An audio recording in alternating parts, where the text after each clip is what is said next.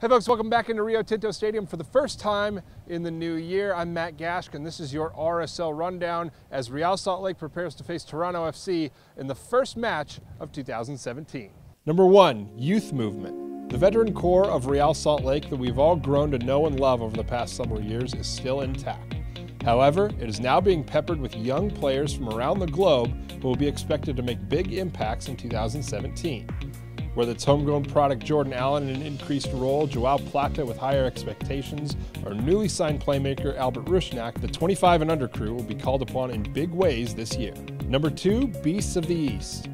With high profile stars Sebastian Giovinco, Michael Bradley, and Jozy Altidore, Toronto has as talented a group of designated players as anyone in the league add in a strong supporting cast, and it's no wonder they represented the Eastern Conference at MLS Cup last year. After falling in penalties in the final, TFC is hungry for more in 2017, but will they suffer the same fate as the last two MLS Cup losers, who both lost the season opener the following year?